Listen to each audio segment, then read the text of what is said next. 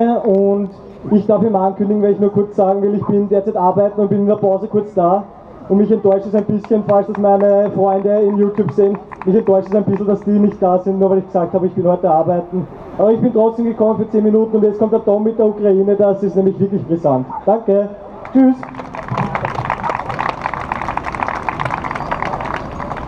Freunde, ich danke euch allen, dass ihr da seid.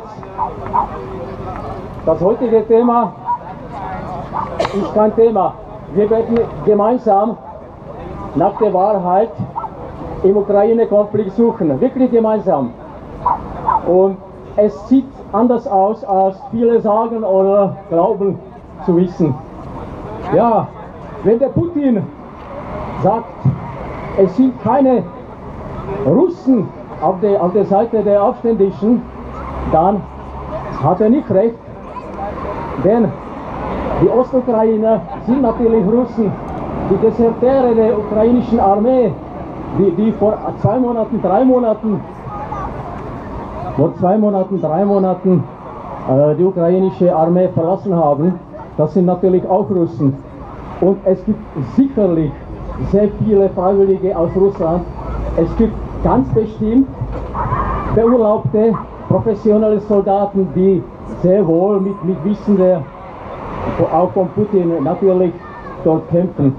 Aber es kämpfen dort nicht nur Russen, es sind dort verschiedene Nationalitäten, zum Beispiel Spanier, Franzosen, Slowaken, die, wurden, auch gefangen genommen. Ja, auf der ukrainischen Seite natürlich äh, auch. Ukraine-Konflikt. Ja, wie groß ist Ukraine? Ist ein verdammt großes Land, richtig. So größer als Frankreich. Hat, hat so um die 45 oder 50 Millionen Einwohner. Davon also 12 bis 15 Millionen russischsprachige. Wie ist die Ukraine entstanden? Gab es Ukraine unter dem Namen vor 100 Jahren, vor 120 Jahren? Ja oder nein? Vor 100 Jahren? Nein. Ukraine war damals Teil des russischen Reiches und ein Teil war natürlich Österreich-Ungarn. Nach dem Ersten Weltkrieg haben die Bolschewiken also letzten Endes gewonnen und die, die wollten äh, selbstständige Republiken schaffen, so wie Weißrussland, Kasachstan, natürlich auch etwas, wo heute Ukraine ist. Ja, das ist auch geschehen nach einem schmerzhaften Prozess zwischen 1918 und ca. 1926 hat das kommunistische Politbüro beschlossen, Ukraine wird entstehen und zwar in diesen Grenzen, in diesen heutigen Grenzen. Ja, der, es gab natürlich einen Mann, der war besonders verantwortlich für die äh, Probleme der Na Nationalitäten. Das war Josip Vissarionovich Stalin. Stalin war Volkskommissar für, für Nationalitäten. Der war derjenige, der die heutige Grenze gezeichnet hat, irgendwann einmal 1925, 26. So, wenn man jetzt in Washington und in Berlin glaubt, diese Grenze verteidigen zu müssen, dann bedankt sich der, der Stalin. ja, ja, so wertvoll war sein Werk. Gut, jetzt also ist es passiert. Diese 12 Millionen Russen leben dort seit, seit einigen Jahrhunderten und die, die sind bis jetzt Bürger der Ukraine. Ja, jetzt ist leider seit vier Monaten werden sie von der ukrainischen Armee, von der eigenen Armee beschossen mit Raketen, mit Geschossen, ja, mit Flugzeugen immer weniger. Die meisten Flugzeuge sind schon, ukrainische Flugzeuge sind in der Zwischenzeit abgeschossen worden. So, jetzt, wer glaubt, dass diese, diese Russen, diese 12 Millionen, noch bei, Russ bei Ukraine bleiben wollen, der, der, wird irren und das wird nicht kommen. Das ist einfach, das ist unrealistisch. Man muss sich das etwas plastisch vorstellen. Also gut, nicht die Russen, die Amerikaner sind dort.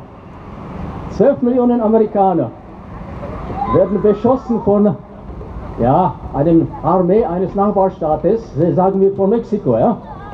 Also, also Mexiko macht dort täglich Massaker und es sind bis jetzt, niemand zählt wirklich die, die zivilen Toten, aber, aber es sind schon Tausende, das ist, das ist Übereinstimmung.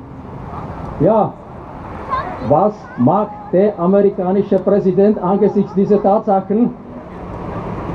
Der wird innerhalb von 24 Stunden die, die ganze Armee hinschicken nach Mexiko und diese Leute befreien. Also das, darauf kann man sich verlassen. Also so, so gesehen ist Putin verdammt, verdammt mild und eigentlich unentschlossen in seiner Handlung. Egal ob man es will oder nicht. Ja, also es ist dort ein Krieg im Gange, seit vier Monaten. Das ist der erste Krieg auf dem europäischen Boden in diesem Jahrhundert. Es ist, es ist überhaupt keine Frage. Die ukrainische Armee ist doch riesig und neben der Armee kämpfen Freiwillige. Das sind Nationalisten bis zu e echten Faschisten. Also die berufen sich noch auf, auf Bandera und andere die mit SS gekämpft haben. Oh, apropos eine, eine kleine Bemerkung. Diese, ja, die Welt hat die Landung in der Normandie gefeiert, richtig, ne? Jetzt, das war im Juni. Und der Poroschenko wurde auch eingeladen. Der hat sich irgendwie berufen, dass die Ukrainer auch dort gekämpft haben in der Normandie. Und wie immer hat Poroschenko recht. Jawohl, die ukrainischen Soldaten waren in den deutschen Bunkern und haben sie diese Bunker verteidigt gegen die Amerikaner. Das, das, das sagen amerikanische Quellen. Das ist, das ist keine, keine russische Propaganda. Und äh, man, man, hat sie, natürlich, die waren nicht besonders begeistert. Sie, sie, haben eher, sie haben sich eher schlecht verteidigt. Also das ist schon eine andere, andere Sache. Neben Ukrainern haben dort interessanterweise auch Georgier gekämpft im Soll der, äh, der deutschen Wehrmacht. Also wie die dazu gekommen sind, ist noch nicht ganz klar. Und natürlich Litauen, Letten, ja, sowieso. Ja, was ist an diesem Krieg besonders? Das ist der erste Krieg, der erste Krieg, den man im Internet verfolgen kann. Und zwar, man muss nur lesen können. Sprich, ja, man muss leider Russisch